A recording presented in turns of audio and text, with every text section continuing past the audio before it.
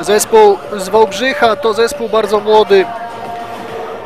Zawodnicy często 16-letni, 15, 17, bardzo niska średnia wieku, przed y, 16 metr. Teraz tutaj Piasty bardzo szybko ucieka y, z własnej y, strefy obronnej. Dobra y, szansa. Wright bardzo dobrze przygotowany. Fonfara tutaj wyszedł do przodu, zatrzymując zapędy linii ataku y, Piasta Żmigród. No ale też to wyprowadzenie piłki widzieliśmy bardzo niedobre. Broda Zerka do kogo? Ta piłka zagrana wzdłuż linii. Jest już y, dośrodkowanie. Bardzo dobra interwencja też w obronie jednego z zawodników. Y, Tutaj ta piłka jednak uderzona w słupek.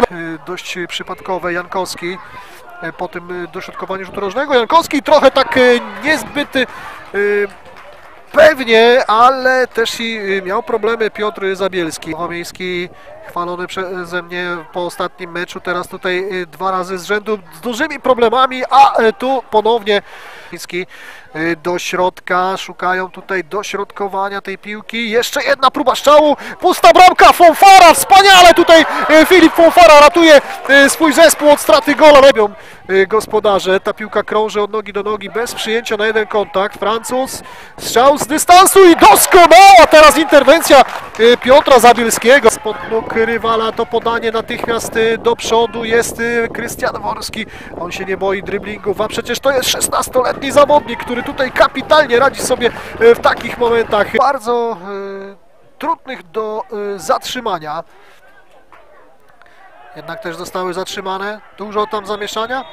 Eee, no na miłość boską chciałoby się powiedzieć. Yy, nie mam zielonego pojęcia, co tu widział sędzia.